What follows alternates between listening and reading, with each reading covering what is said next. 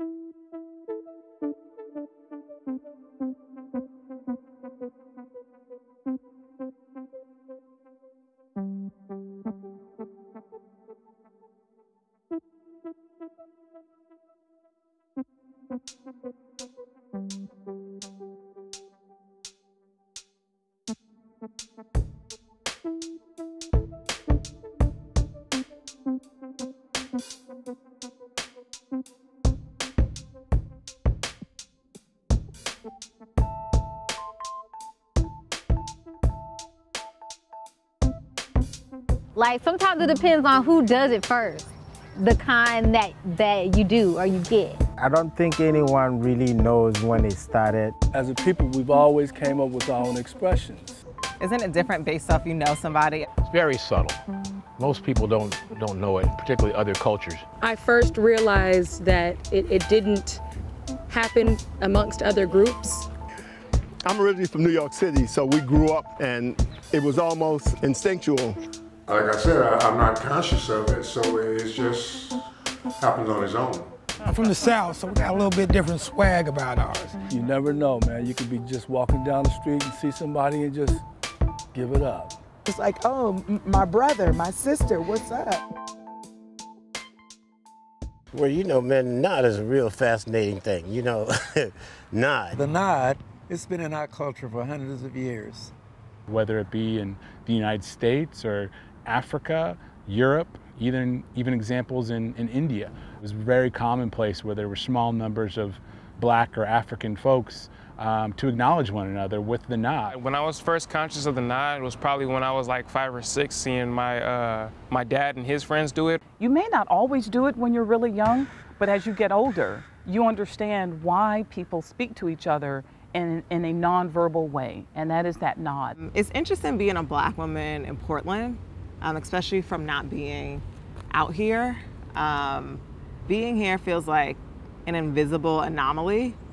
It's funny, I laugh at some of my friends who are also from the East Coast, and we talk about like being there, and it's like, you know, remember those days when, you know, these guys would be catcalling and say, hey, yo, chocolate, and, you know, hi, queen, and all this other stuff, and we'd be like, please don't talk to me.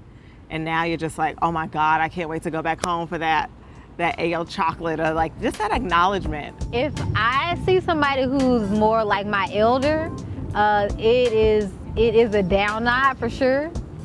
For me, if I nod at you with the heads up, that means I look up to you. I respect you as a man, as a person. If I nod at you with the head down, keep it pushing. And it don't have to be a long nod. That won't work. It's a perfectly timed.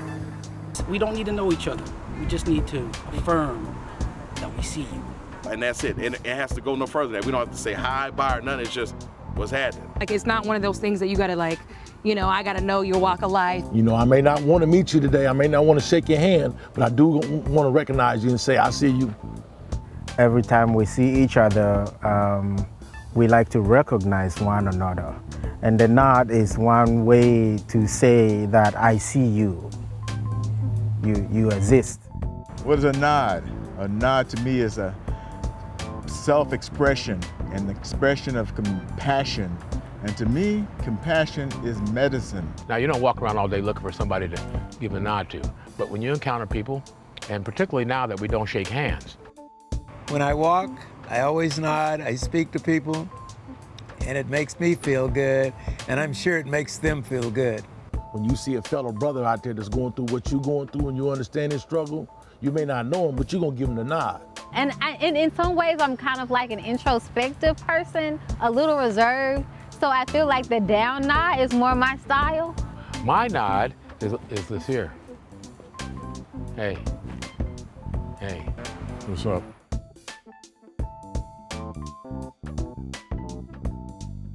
The other one, like that? Because sometimes I do look at people and I'm just like. My dad used to hit it like this.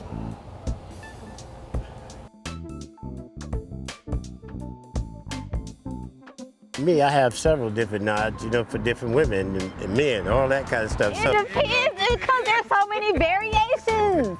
There's like like the blackbirds and crows. Right, yeah. They, they, you might, it might sound like a ah to you, but actually that ah was a ah, you know, to anybody else it looked like just a nod, but little do you know. Yeah, yes, like okay, something's happening. There's like mm-hmm, that kind of nod, and then there's more of like the sober nod.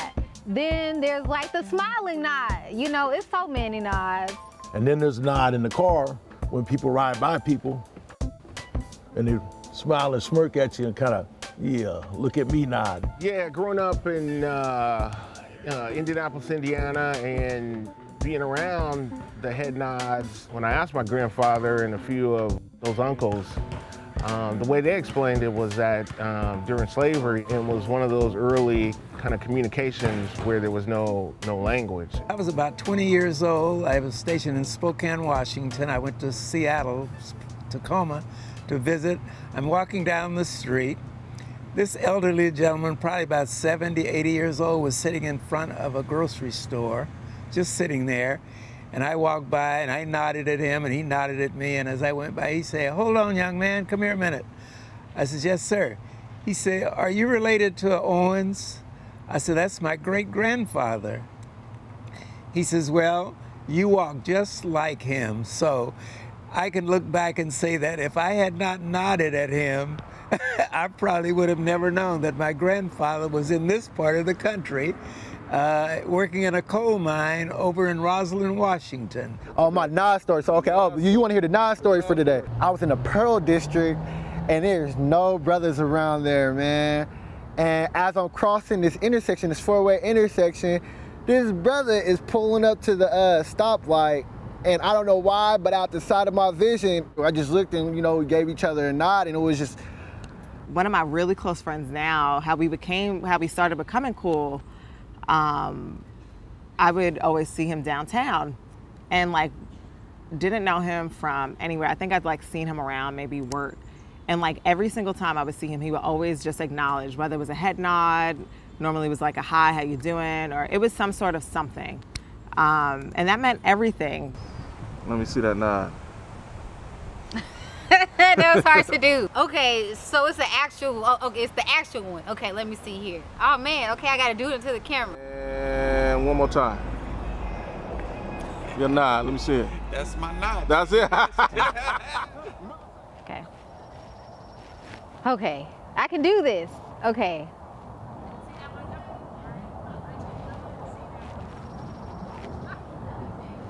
Ah.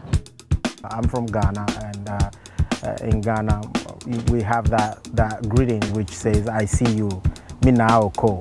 In the African culture, the nod is basically the same as it is in the African American culture, and it's a sense of, hey, when I see you, I recognize your presence, I see you, I acknowledge you, and it's just kind of a check-in that we do with each other. Well, when I arrived here from Los Angeles. When I came to Oregon. So when I first moved to Portland. I got here about a year ago. I did see that I was from a much more diverse place. As you know, Oregon doesn't have a lot of black people. One of the things that I found really interesting was that if I'm on the bus or like just walking into the mall. Walking along the beach here in Portland, Oregon. Where there aren't that many of us. So the first time I saw a black person walking down the street. I saw another brother approaching me. He was about 100 yards away. And I'm walking around. When you saw another person who was black, the hello is imperative. And I knew for certain that the universal nod was going to come into play. You expected to have that connection. I saw him eye to eye, soul to soul. It's like, hey. and then as you walk past him, you say hello. You know, you would do that little nod. And as I threw in the nod, and they see me, and I'm like, hey, what's up? You know, and just a little head nod. And they did not acknowledge me back. And then you don't get it back. And I'd get nothing. He left me hanging. It's as if you don't see me. And when I haven't gotten it back a few times, as if you have assassinated me. I didn't know how to respond. I was somewhat shocked. And then all of a sudden it hit me. I had encountered the elusive sand brother. So look here, if you ever encounter a sand brother and they leave you hanging like a high five, don't worry about it. Just remember, they've got sand in their eye and they can't see it right. I could actually feel how positive they are as a black person toward another black person. And uh, that always kind of leaves a kind of a funky feeling, you know. When they don't nod, or they turn away. In fact, they kind of looked away. The, I've seen that here. My experience here in Portland is that we're a small black community, and so we all know each other, and so we often nod and hug and smile. I've experienced like being in other cities, and like I'm smiling and nodding at them, and like they're not paying me any attention often, um, and so like I often wonder if some of it has to do with, um, you know, with where you're from and being more comfortable with people who you know. Uh, when I don't get the nod, that's usually a sign of uh, they don't recognize the struggle. Black men generally won't do won't uh, reciprocate with a black nod, especially if they're part of an interracial couple. It's like, I'm not with you. I'm not with you guys. One time I was walking and I passed by like a few black men, didn't even look my way, no acknowledgement, no anything. And like, I was really pissed and annoyed. And I remember like seeing him like a few blocks away and I'm like, I purposely need to cross the street because I just need to be seen at this moment in time. And sure enough, as I got to him, it was that same like, hey, what's up? Like, you know, head nod. It just meant so much.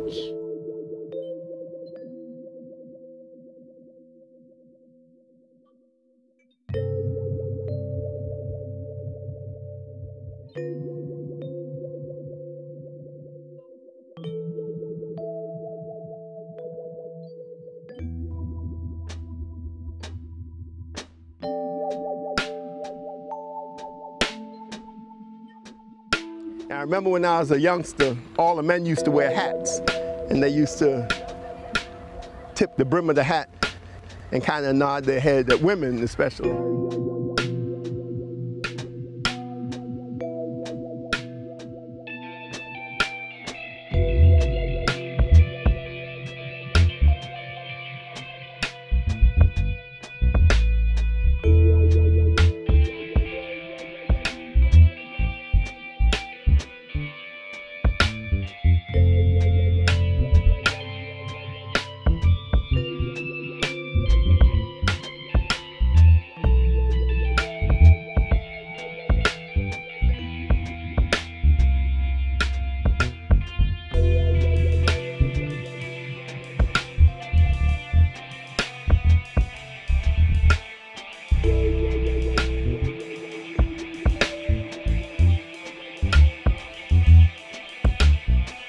Pretty exclusive to African American men. Uh, if you nod to a woman, uh, that's not that, not that well received. Uh, you might not do it to elders, you might not do it to children, you might not even do it cross-gender, but if you encounter another brother your age or contemporary, you give them the hello. I'll always say something. I'll say like, hey, we're, we're here in Portland. Do you see any of us around? No, it's just you and I. Uh, I'm, I'm gonna give you the nod. But I notice whenever I'm running up against another bull like myself, I tend to, you know, raise my head. I have a friend who whose partner um, is a black man, and she says even when she's walking by herself, she doesn't she doesn't get like that sort of just that same sort of love or just acknowledgement that you're seen. And she said whenever she's with him, that's when like other black men would acknowledge him and still would never like just at least acknowledge her.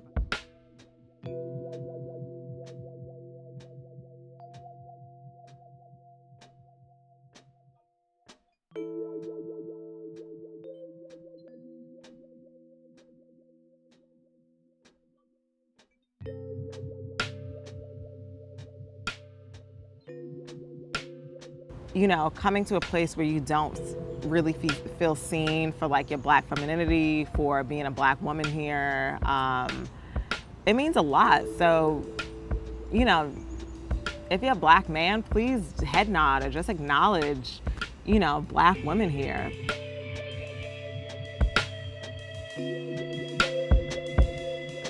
I went to Lincoln High School and the black population there was extremely small.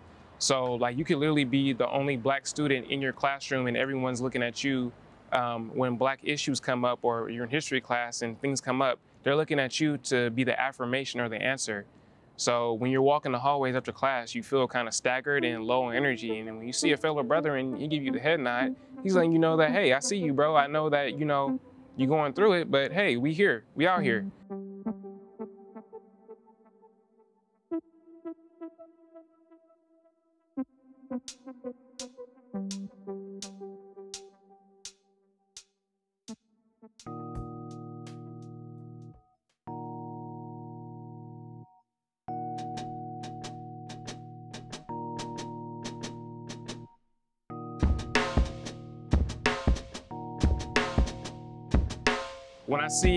Um, a student um, standing up for themselves to a teacher or to a, another individual that's their classmate, I see them and I give them like a headline, like, yeah, I see you.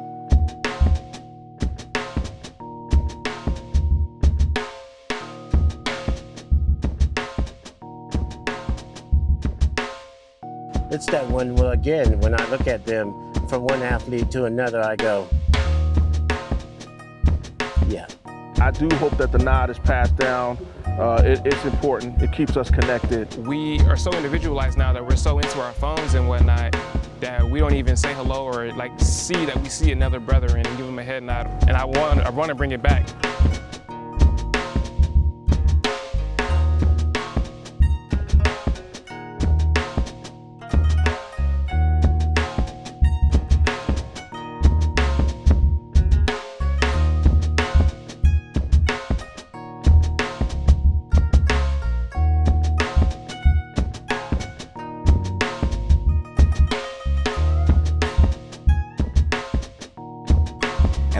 St. John's area and I'm walking around. Uh, I pass the security duties right outside of this bar, head nod, he head nods back.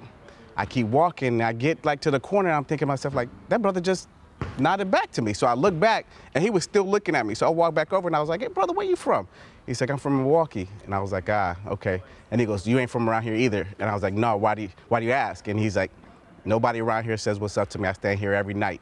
And I was like, we gotta change that, man. We gotta get that head nod back. That's our people.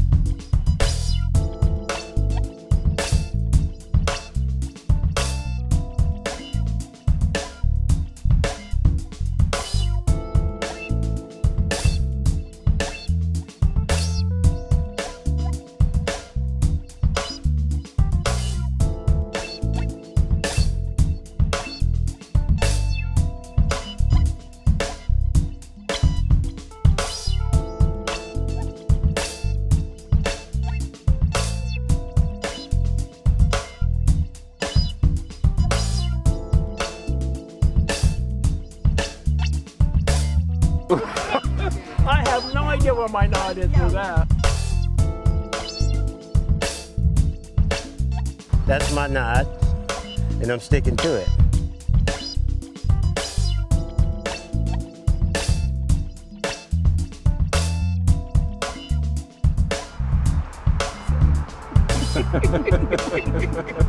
okay, I can do this.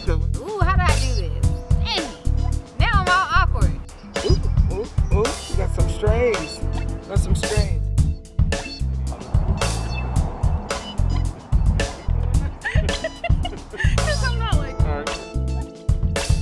There's some inappropriate gestures, but uh, those are reserved for special occasions.